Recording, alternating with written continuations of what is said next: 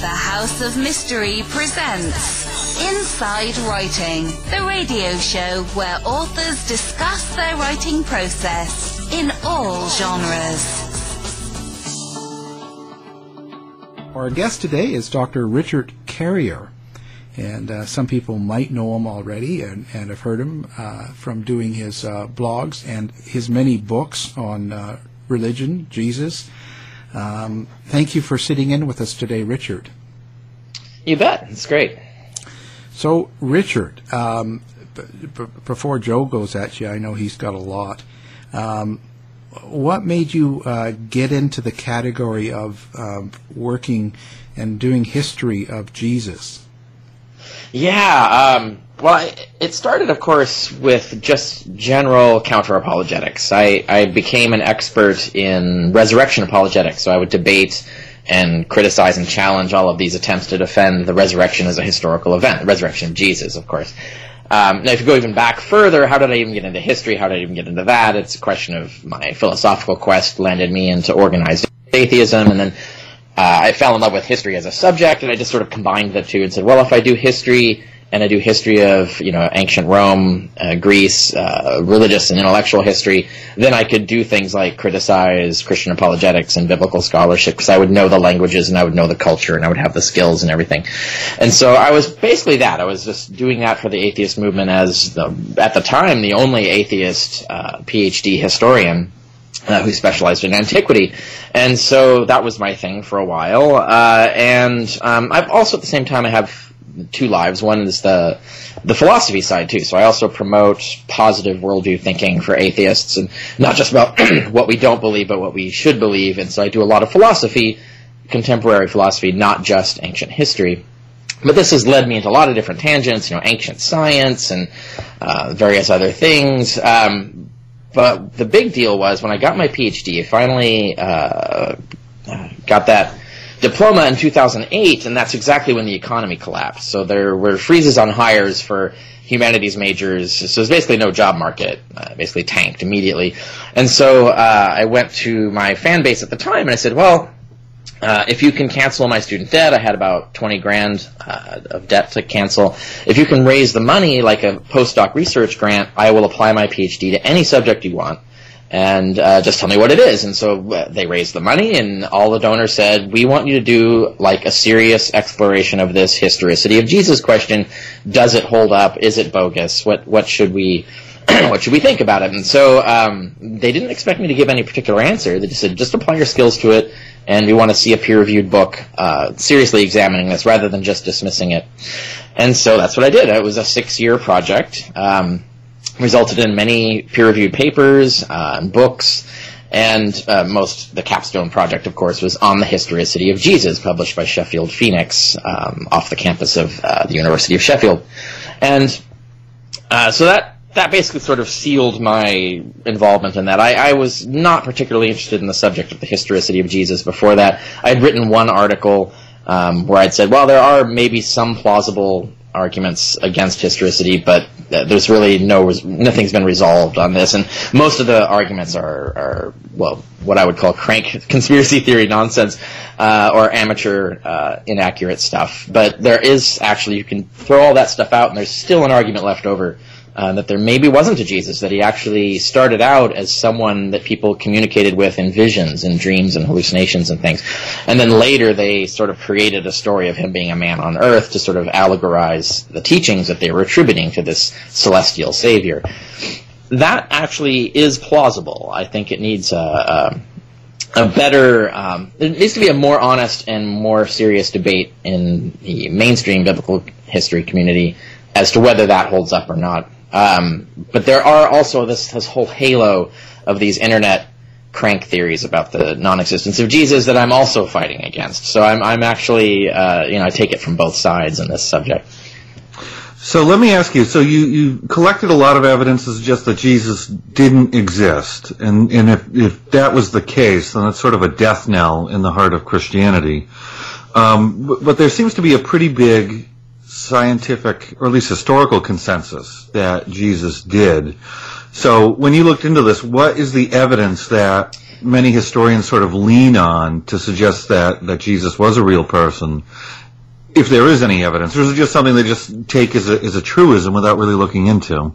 It's a little of both. I mean, the, reality is that we don't have a lot of evidence either way. Uh, so this is the problem when you've got this sort of vague situation where the evidence is deeply problematic, like it's heavily compromised. Most of it's been destroyed. Uh, it, it was controlled by historicists for a thousand years, where they were deciding what to preserve. Uh, they doctored a lot of documents. We know this for a fact. Uh, we have many, many, many examples of their efforts to doctor and alter documents, to destroy documents or make them go away, or uh, forge documents. Tons of forgery. Um, so this, and, and whereas all of the first century stuff, like when Christianity began, we have almost nothing, like virtually nothing survives from that period. So it's, it's really a black box. We don't really know, we don't have a smoking gun, either way, either for historicity or for the non-existence of Jesus. And so when you see these ambiguous situations with really complex, problematic evidence, uh, that's scarce for the period you want to study, uh, it leaves you know a lot of room for biases to basically replace fact. And so I think there is a very strong bias to not go there. It's like a third rail in mainstream scholarship. Um, you don't want to be uh, embarrassed or lose social status or lose your job or um, you know have other people make life difficult for you if you're going to actually start promoting this as a mainstream idea that there wasn't a Jesus. So there are some, there's about 12 fully qualified experts with PhDs in a relevant field um, who have come out at least admitting that agnosticism about the historicity of Jesus is plausible and should be respectable. Um, so we've got, and that's increasing. That actually number has grown since I published the first peer-reviewed defense of the non-existence of Jesus theory in 2014. So it's it's really the theory's been around for over hundred years. Uh, but no one had passed, no one had developed a peer-reviewed study arguing for it. it. It usually was just orbiting around in sort of pop literature and things like that. And I was the first one, thanks to the postdoc research grant that my fans developed for me, I was able to produce a proper peer-reviewed study of this subject. But what I found was the evidence is problematic. There's there's uh, there's nothing that is totally secure, um, and so you end up with kind of a vague conclusion. I, my conclusion is there's a one in three chance that there was a historical Jesus, which is less than 50%, so it's not what mainstreamers want, uh, but it's also not that low. Uh, you know, one in three actually still leaves a distinct possibility that there actually might have been a historical Jesus after all. So it's, it's an ambiguous outcome, which is what you should expect when you have ambiguous evidence. And that's the situation we're in now. The clues, though, uh, there's a variety of little things where there's these hints of these other sects of Christians who believe that Jesus was a myth, uh, that, or that the gospel stories of Jesus were mythical, and that there was something more cosmic going on. But all of their literature was destroyed, so we only have like brief references to the existence of them by the polemicists attacking them, and so there's and only a few of those. So, so that's problematic. But the the big problem is that the letters of Paul, the the seven authentic letters of Paul. The others are forgeries. Uh, that's the mainstream conclusion. The seven what are believed the authentic letters of Paul, which were written in the 50s AD, so about 20 years after the religion would have began, are bizarrely silent about uh, a Jesus walking around on earth. They, they, seem to only know about a Jesus you meet in Revelations, uh, a Jesus whose teachings you only learn through Revelations and through finding hidden messages in Scripture. Uh, there's no reference to actually any eyewitnesses seeing him while he's, you know, quote unquote, alive on earth. There's no references to him having a ministry, to him being an exorcist, to him being a miracle worker, uh, to him teaching in parables. There's a lot of things. Like the whole life of Jesus has been eliminated from this story, and there's only this cosmic tale of this sort of dying and rising uh, incarnate Savior. So the question becomes, where did this? Where did he acquire human flesh and die? Was it on Earth or was it in some sort of celestial realm? Was it in the sky? There's a lot of uh, uh, parallels, for example, in other religions around. The classic one is the neighboring province of Egypt had Osiris cult. Now, Osiris cult had spread all over the Roman Empire, so it wasn't just in Egypt. But it taught that there was Osiris was a historical pharaoh who did all these things and then rose from the dead and went up into outer space to rule from from above. But there were secret stories, and the, the, priesthood taught that that was all allegory for what was really a myth, or really a, a the true cosmic story was that Osiris becomes incarnate in the sky uh, in, in, battles the, the, equivalent of Satan in their religion, gets killed by Satan and then resurrects from the dead and so on. So it's all taking place in the sky, not on Earth. So that there were parallels like this. So there's a lot of these savior cults that had this sort of mythical, earthly version of the savior, and then the true story that would be told to insiders was that there was this cosmic being. So in context, that could have happened in Christianity as well. And so the question is, what evidence do we have? Do we have clues that, that prove this?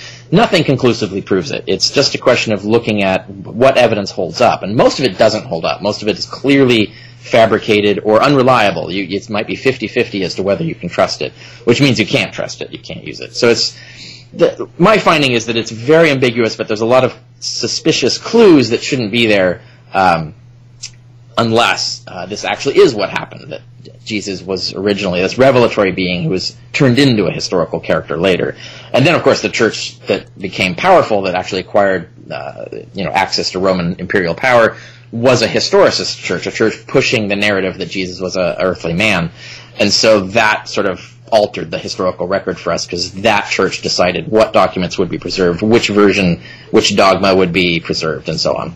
So, at what point?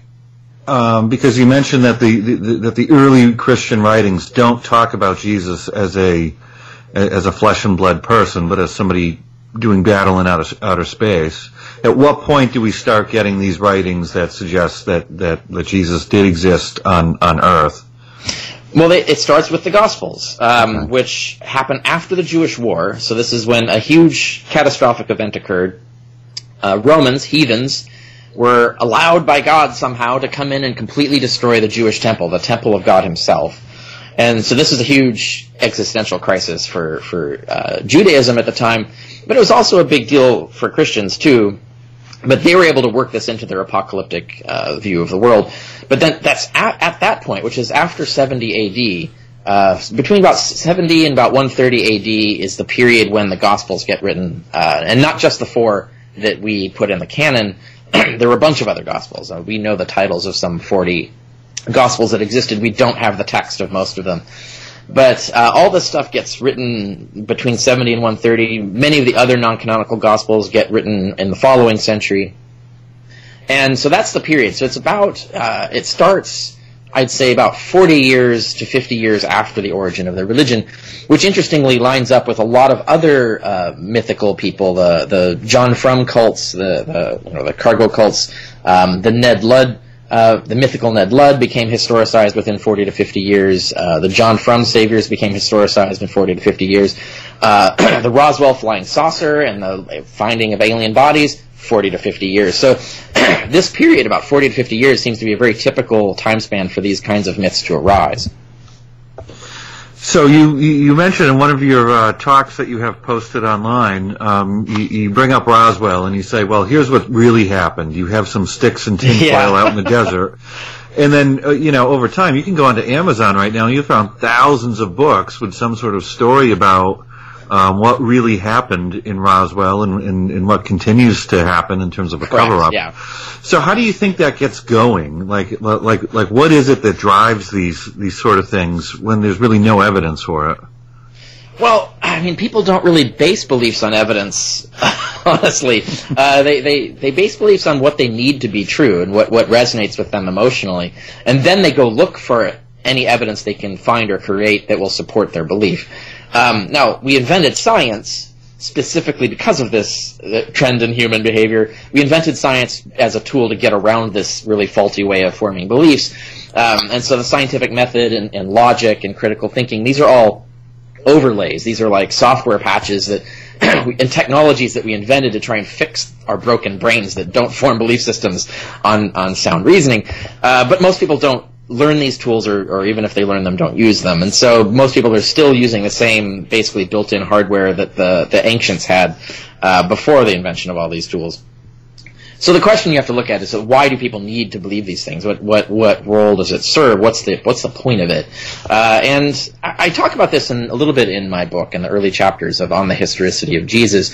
We have examples like uh, the King Arthur legend. Why did people need to believe the King Arthur legend?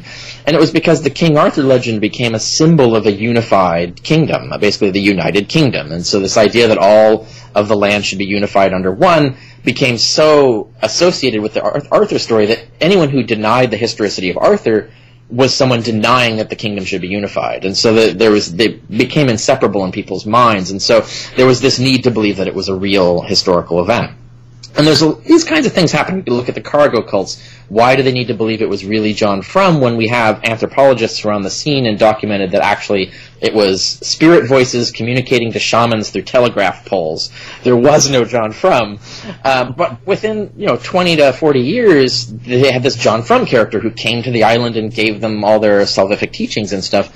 Why? What's the point of that? Why do they need that? Um, and and you know, that's a whole other galaxy of, of exploration in terms of sociology and anthropology as to why humans need reified, we need their myths to be reified. Why do they need them to be literally true? Uh, and we still see people struggling with this. There's Christians who want the Bible to be non-literally true, but they can't get rid of all of it, right? They can't say it's all allegory. Now, there are some Christians who do. You look like John Shelby Spong and a variety of other, uh, Sheehan and a variety of other theologians are willing to go there. Um, Thomas Brodie was is one of the people who's argued that Jesus didn't exist, and yet he's still a devout Catholic.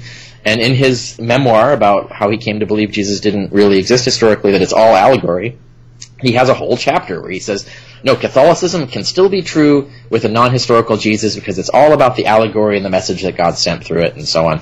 Uh, so people can get there, but these views do not become very popular. Uh, the the majority of people need like con- need things to be concrete, I think, and why that is that's a whole question in psychology. Um, and of course, I'm sure you've run into a lot of the psychology of conspiracy theories as to how they give people a sense of control when they don't feel in control of their world. There's a whole psychological literature trying to figure out why people are so easily seduced by conspiracy theories. I think it's the same psychology at work. So that was the next thing I wanted to ask you about is that you you have done serious work on the history historicity of Jesus, but there's a lot of unserious work on it too. And yes, is the movie Zeitgeist that got popular a few years ago, Quite and I think few, at this point, yeah, I think at this point, yeah. yeah, they've done two or three versions of this movie. Um, and and I guess the movie sort of suggests that all religions are sort of based on the zodiac and the and the sun, and then you know the second half of the movie seems to link all of that into 9/11, which is a pretty big leap. Um, yeah, I know. I know it's very and uh, yeah, something to do with oil and oil companies. Yeah, it's um. No, that one's pretty wild. Uh, the I only focus myself because my field is ancient history. I focus on the first half of that, uh, which is the conspiracy theory about well, because there's a conspiracy theory in there, which is about how somehow the Vatican has basically run this conspiracy theory to suppress the truth, which is sort of true, but not really in the way that they think. There really isn't any good evidence for the uh, astrological theory of the origins of Christianity. Astrology works into all religions. You see it get worked into Christianity over time. They they integrate, but it's not responsible for the origins of Christianity. All of this finding these astrolo- astrological symbolism in the Gospels, for example, is like tea leaf reading. It's it's finding patterns that, that are just random. They're not really patterns that were in there on, on, on purpose. We can contrast that with like Mithras cult, which originated around the same time and is another salvation cult in the Roman Empire that was growing up. Uh, that we have very clear indications, uh, actual symbolism, actual texts, and so on that, that show that it was astrologically based from the beginning. And so you can look at all the evidence we have for Mithras cult being astrological. You can look at Christianity, and, and none of that evidence is there. So Christianity is really just a Jewish apocalyptic cult. Its origin is based on the apocalyptic literature of the Jews prior to the origins of Christianity. It's basically just an offshoot of a bunch of these sort of fringe apocalyptic cults, these these sects of Judaism at the time. It isn't astrologically based; it's prophetically based. It's based on calculations in the Bible and things like that.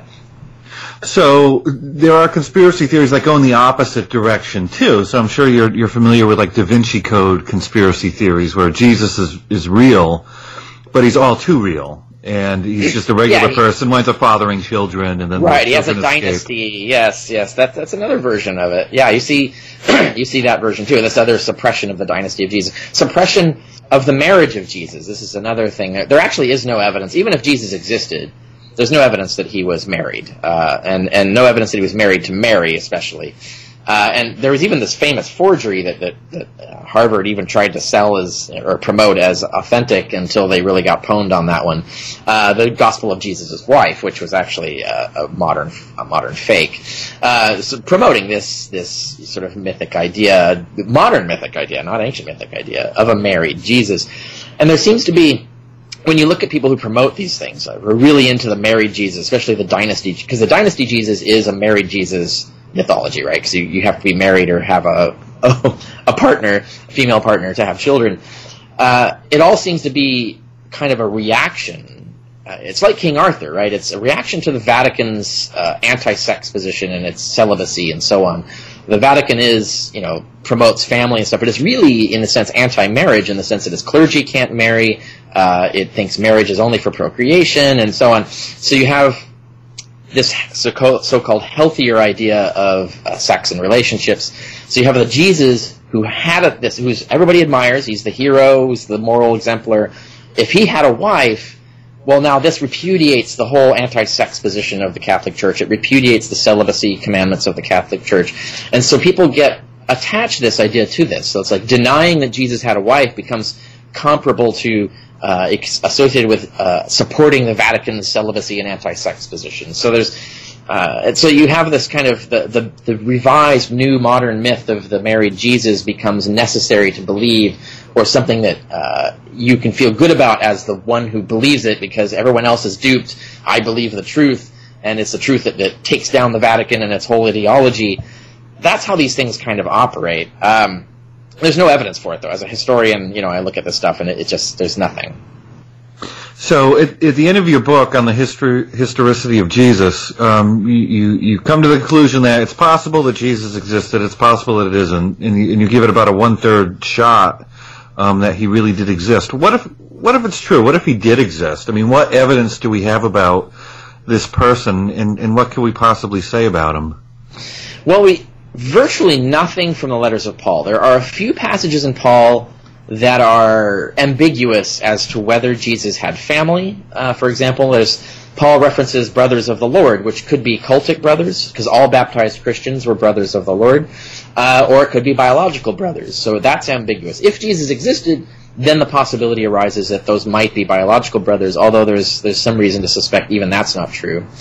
Uh, and various other things are like very vague, more like theological statements about Jesus, like that he had Davidic ancestry, but there's no statement about how they know, knew that, or, or you know whether he had a father or who his father was, or anything like that. When you get to the Gospels, now the question is these are highly allegorical, they're highly fictional.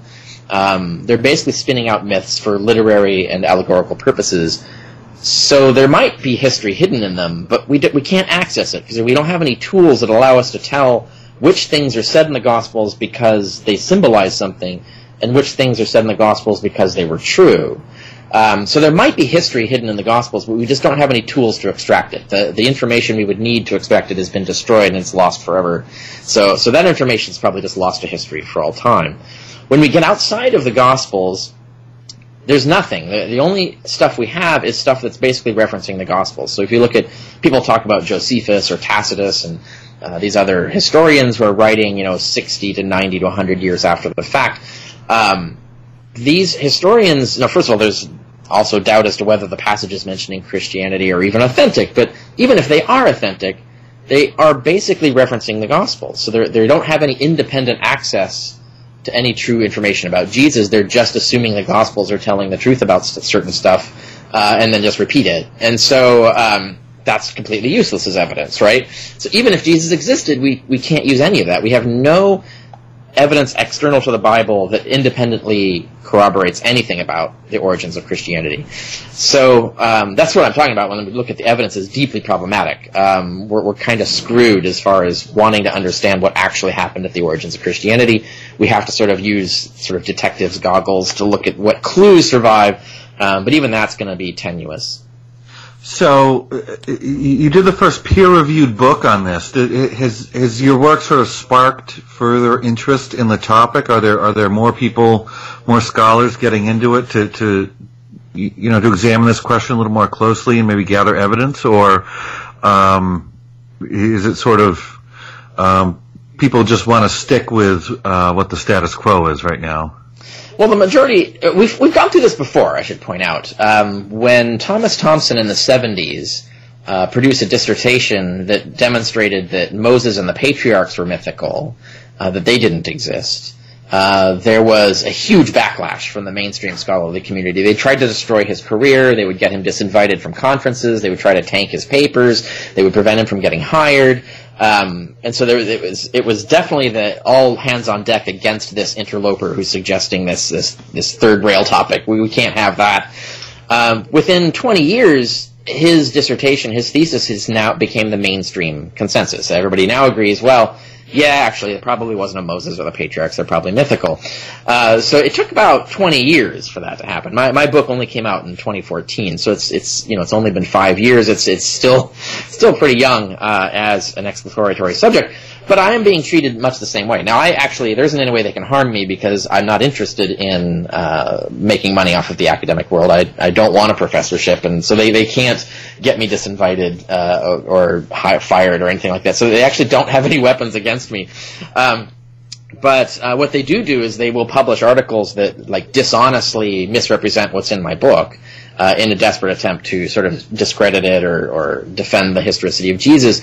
And what I find is it's people who, who aren't actually reading the book and presenting fallacious and incorrect arguments uh, in defense of the, the criticism of it um, is the main response to this, which I think is embarrassing and sad uh, and does not bode well for the public reception of biblical scholarship because it actually basically communicates to the public that they aren't doing honest scholarship in this subject.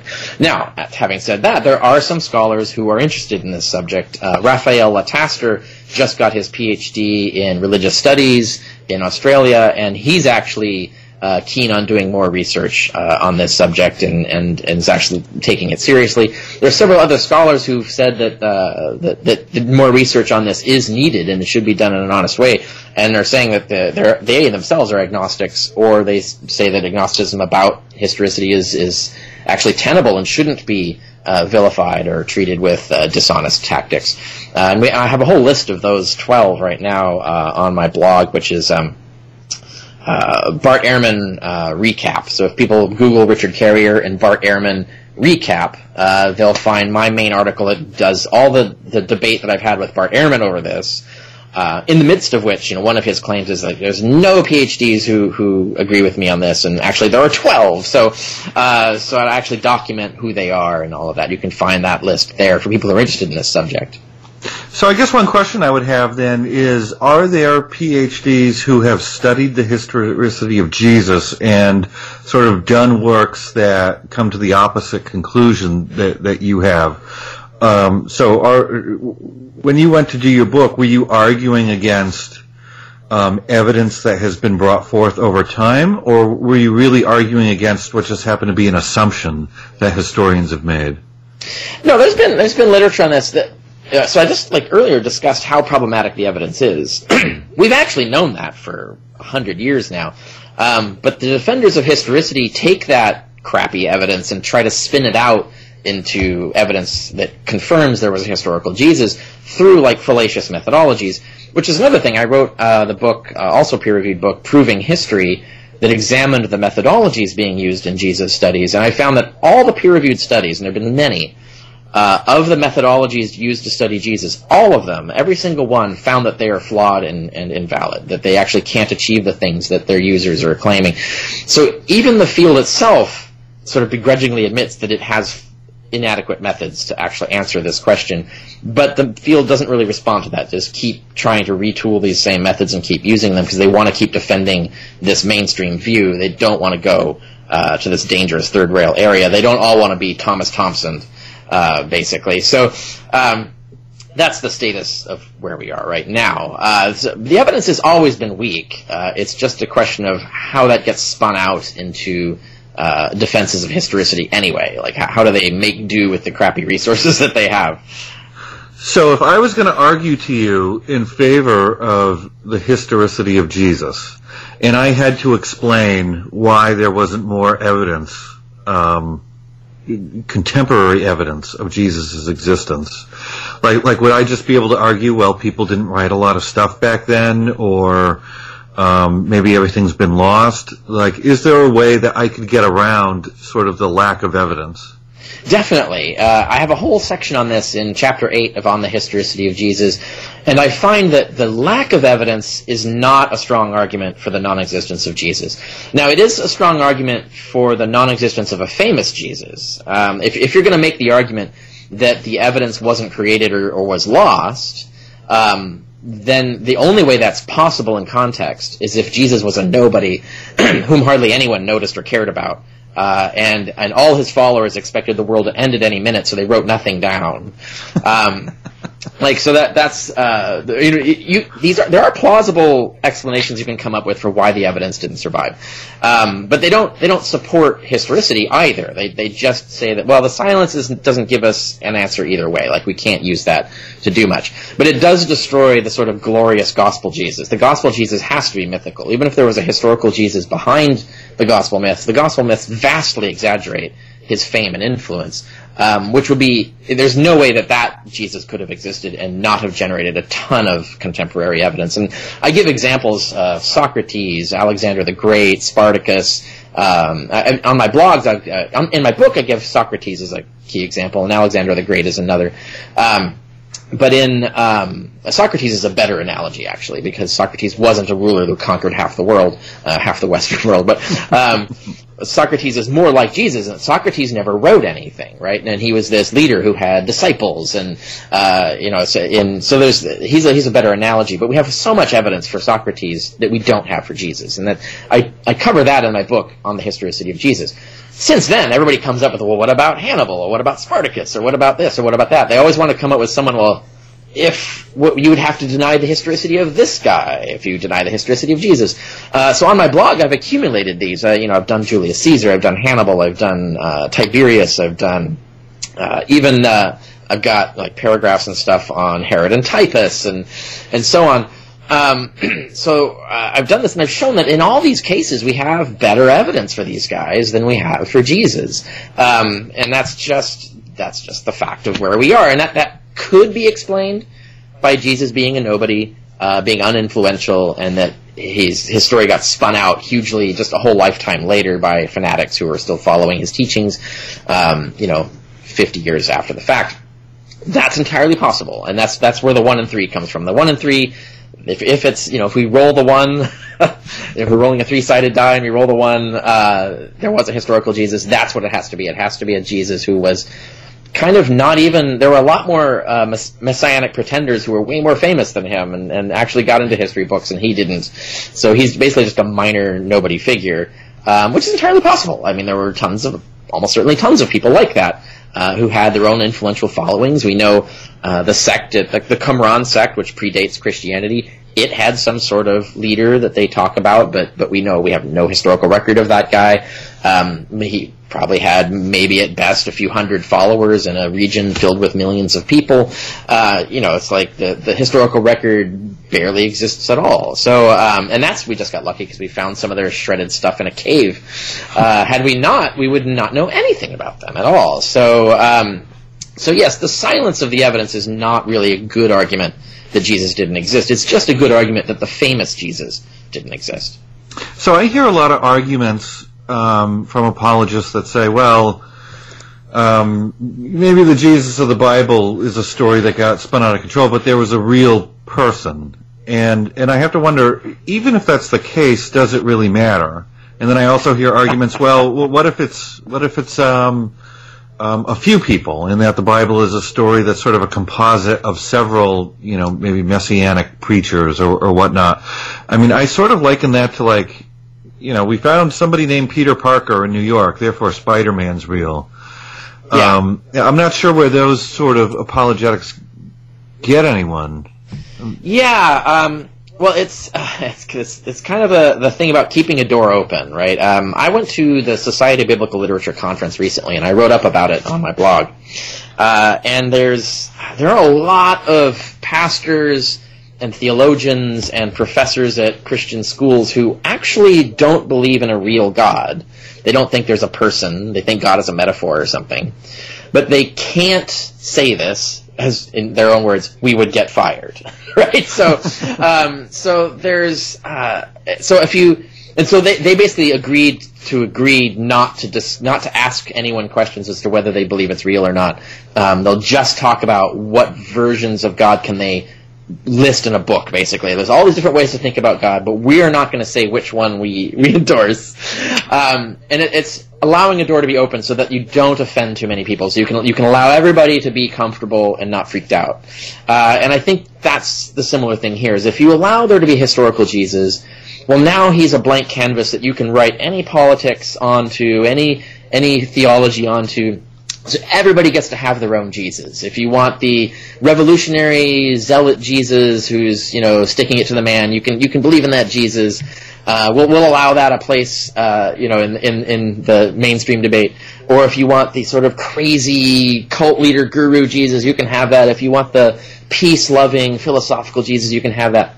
If you want the conservative Jesus, the liberal Jesus, whatever Jesus you want, you can have it. But if Jesus didn't exist, well, now that kind of exposes the game. Now you're saying like, well, if Jesus didn't exist, everything's made up, and if it's made up, it, it isn't true, and therefore any ideology I try to build on top of it has no has no ground underneath it. It's sand. It's going to fall away. Like so, you see, well, if you're basing your whole ideology, your whole vision of Jesus on this already fake Jesus, um, then your ideology is fake. Whereas if there's a historical Jesus, you can at least pretend that it's based on something real. You can construct your version of Jesus and say, "Ha! Look at the evidence in here this shows that my Jesus really did exist, and all this other stuff that's told about Jesus is all that's the, the, the myth. And so you have these mainstream scholars do this. They'll they'll pick different things in the Gospels to be the myths, and different things to be the historical truths, and thereby cherry pick the Jesus they want.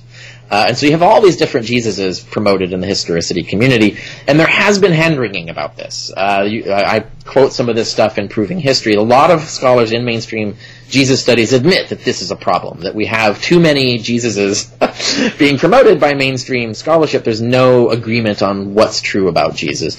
And there are some scholars who've come to realize that, well, maybe we can never know the truth about Jesus. And, and so they're kind of dancing on the fringes of mythicism. But, um, uh, uh, uh, Bermejo Rubio is one of these uh, scholars who's uh, basically said that well we probably can't know anything about Jesus, but he says I think it's the zealot Jesus, and so he like argues for the, the, the violent zealot Jesus that got pacified or got whitewashed in the Gospels, um, but he still says like maybe we don't maybe we can't know these things, and so there are a variety of scholars who are, are starting to say that maybe we can't reconstruct a historical Jesus and we should stop trying. Uh, and, and that would be in the camp of it doesn't matter. If there was a historical Jesus, we don't know anything about him, so it's useless uh, information. But those views are still unpopular. Uh, they only barely skate by uh, as acceptable in mainstream scholarship, mostly because it's easy to ignore them. Um, but if you go around claiming Jesus didn't exist, well, now that that screws up everybody's game, uh, and you know that that gives it away. No, no one no one wants that. I think. So, assuming that this that that that, that, that Jesus was real, if you were to come down and you know perhaps cherry pick your own Jesus, which which interpretation of Jesus, as written in the in, in the available evidence, do you think is most accurate?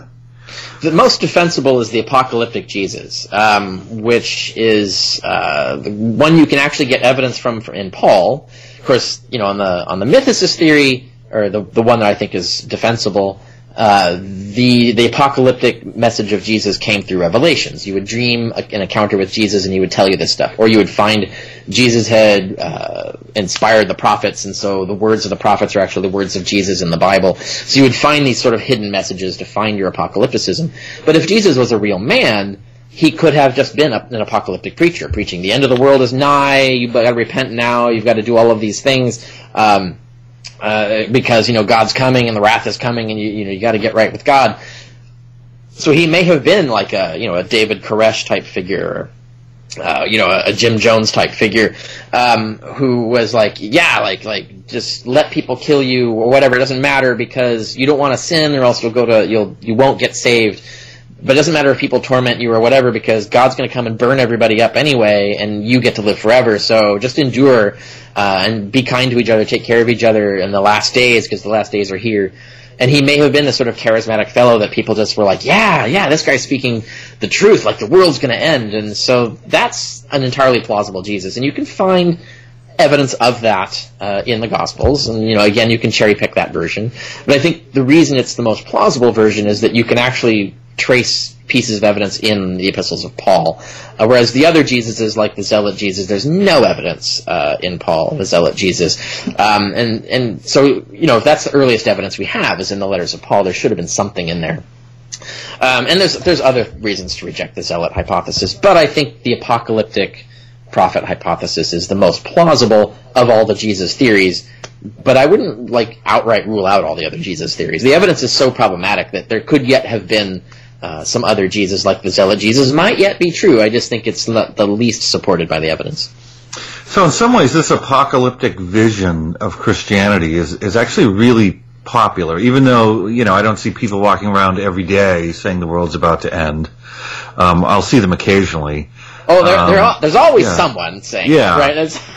like if you, like if you go to Bourbon Street at night, you know, in New Orleans and walk around, there'll be one guy with a sign saying you're going to burn forever, and you know, I bump into those people. But but in the background, um, those views are, are are always there. So when we poll people, I mean, they always yeah. have these Manichean worldview where it's you know, good versus evil right now, and the end is coming, and we got to get it right. And um, it, it, seems like that view sort of has lived on, oh, totally. you know, two thousand years. Yeah, uh, I I cite some books on it in, um, I think, on the historicity of Jesus. There have been several historians who studied the history of the end of the world. There's there's at least two books on this, um, where they, they go through the whole history of the last two thousand, well, actually in some cases three thousand years, and apocalypticism has been around that long and just sticks around. When you, like you said, when you poll Christians today, I think a majority of them say that they expect the world to end within their lifetime, and have said this for hundred, like the last hundred years or something. So like, like every lifetime, uh, they think it's going to happen in their lifetime. And you can go in the history books and see that I've been doing this for centuries. Like you can go back to the, you know, 1000 AD. The world's going to end in our lifetime you know, thousand years later, here we are. The world's going to end in our lifetime. Uh, you know, it's it's the most falsified prediction in the history of human history, and yet it continues. Yeah.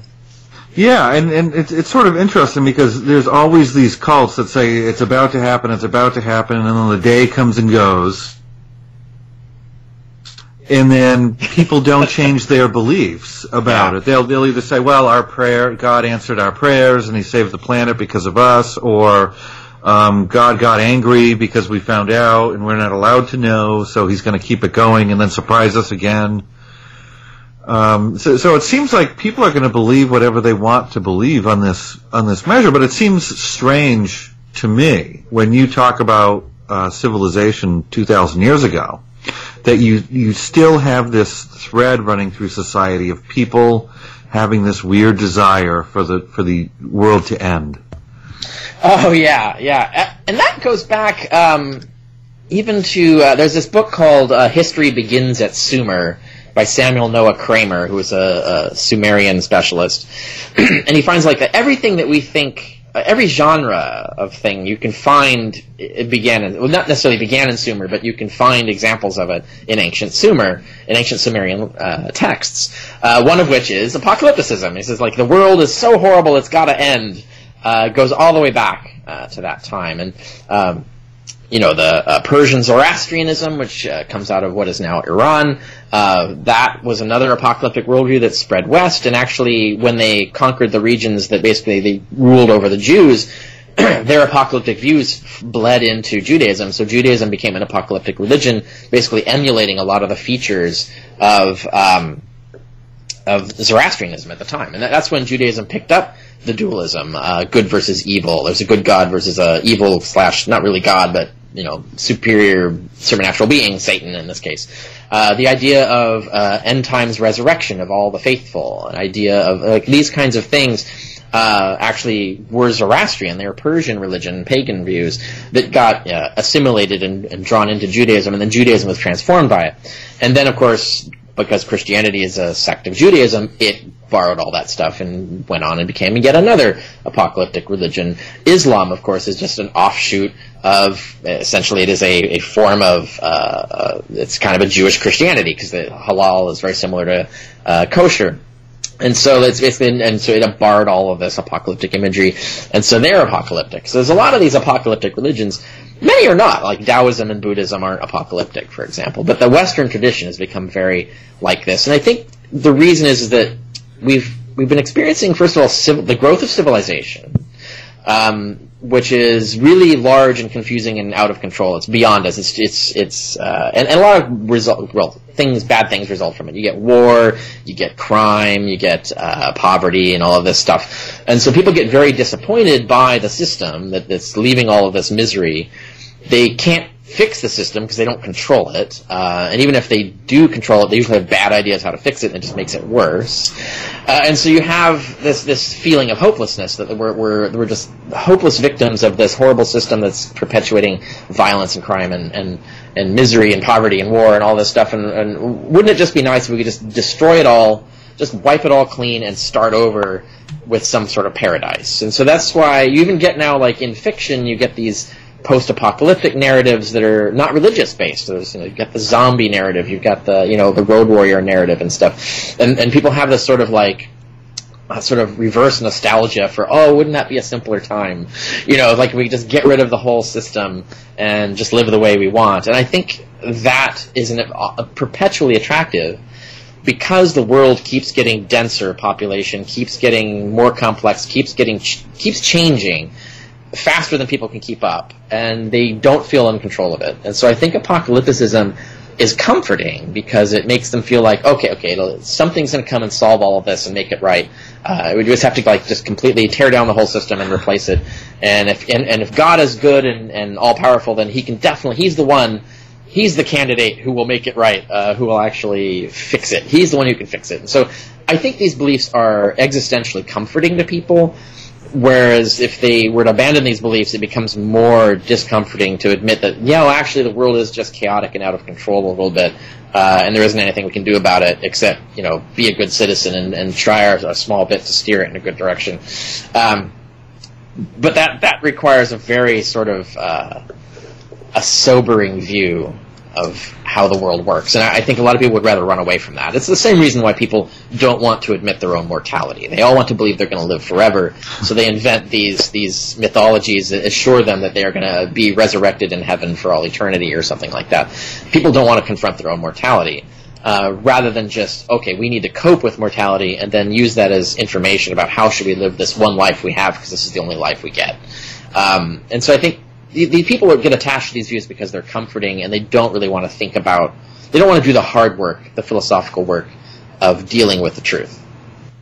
I see this a lot in our politics. So when we poll on these sorts of apocalyptic views i mean we wind up with really high numbers of people who today you know have have have these views coloring how they view mainstream politics. So there are polls about Donald Trump where one recently said 20% of the country thinks he's scarier than the devil. I think 20 some odd percent said Obama was the Antichrist. I think 20% or more said Hillary Clinton was a demon, and then it went around on the internet that she smelled like sulfur because she just came from hell um, to get us. So it's so a lot of this stuff is sort of there, and people apply it in weird ways. That right. oh my God, it's the you know the antichrist is here now. This means you know the, the big break is about to happen, and and and you know and maybe that does explain, as you say, why we you know have these weird fascinations with you know zombie attack and uh, you know zombie apocalypse and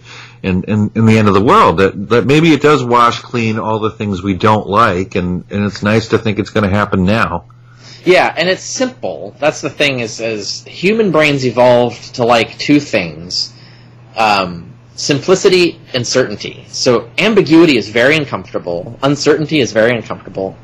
Complexity, messiness are very uncomfortable. We like simple, straightforward, black and white solutions to things. And, and on apocalypse, like just just destroy it all, and then you can just start over with simple stuff and rebuild it's a very alluring. It's inherent in our evolved psychology that we would find this attractive. It's profoundly irrational from an objective perspective because the, people don't realize how much they benefit from and depend on the complexity of their civilization. I mean, just the fact that your bathroom works. you think of the massively complex infrastructure, both politically and physically, that has to exist for your toilet to flush correctly and not fill up with poop. you know, for, right? For you to be like this horrible, uh, literally, you know, poop house. So that you're, you know, just just something is that's just one thing of like thousands of things that we depend on. The fact that the roads work, the fact that they get plowed uh, when we need to drive somewhere. You know, when there's snow. You know, it's like. Uh, people don't realize how much they depend. Uh, the, clean water, the availability of clean water, people take that for granted. Uh, that was not a typical thing. Um, our ability to cr- improve sanitation and things like that. Um, just the fact that we can breathe. Uh, you know, most people don't live in Beijing and don't know what it's like to live in a massively polluted environment, or they didn't live in like 1830, you know, downtown London, which you know was smelled horrible because uh, of sewage and horses uh, and you know all of that stuff. People take for granted uh, the things that they live. They don't realize the complex infrastructure that exists underneath that actually makes their lives better in these ways. Um, and so, and, and then you can't just wipe it all out and build from simplicity because you're going to have even bigger problems when you don't have all this infrastructure, when you don't have police, when you don't have, uh, you know, uh, a culture that is anti-corruption and things like this. So if you if you just start to build up from simplicity, you're basically talking about starting over as savages and uh, we actually have history of what that was like, and it wasn't so great. So, um, but people don't think that through. Like it, it's, it just seems simple. Just wipe it all clean, and then we can just build up from from nothing. Um, it's comforting because it does hit that sort of simple black and white view of the world that, that is comforting for our brains, but it, doesn't correspond to how things will actually happen. Well, what a great interview, Richard. We are out of time, but now for for the listeners. Um, tell them how to, they can find any of your information or work or maybe contact you. Well, everything you can find about me and all of all my work and other things is at uh, richardcarrier.info. That's richardcarrier.info on the web. That's my website. you can follow me on Facebook from there. You can follow me on Twitter from there. Um, you can find out about the classes I teach. I teach online courses every month.